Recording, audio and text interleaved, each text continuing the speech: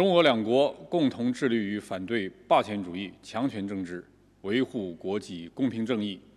为构建新型国际关系和人类命运共同体发挥了重要作用。近年来，两军各领域交流合作持续深入，战略沟通迈向新台阶，务实合作实现新突破，机制建设取得新进展。今年以来，中俄组织开展第四次联合空中战略巡航。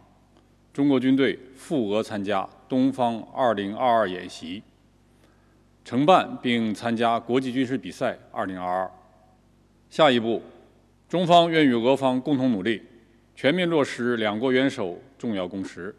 深化两军战略沟通，继续开展各领域务实合作，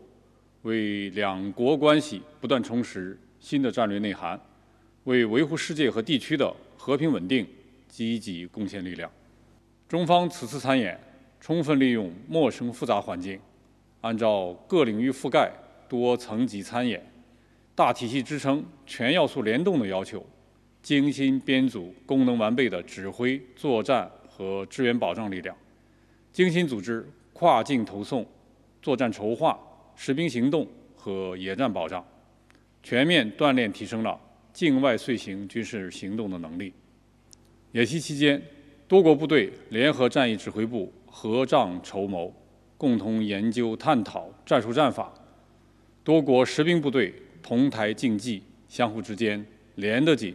融得深，交流了经验做法，加深了战斗友谊。中方将继续秉持开放友好的态度，同更多国家广泛开展军事合作和交流，不断提升战略互信水平。共同维护世界和平稳定。